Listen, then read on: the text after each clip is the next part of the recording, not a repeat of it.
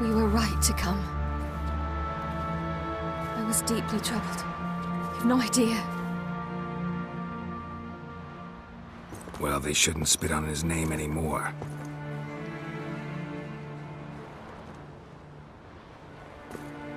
Let's go.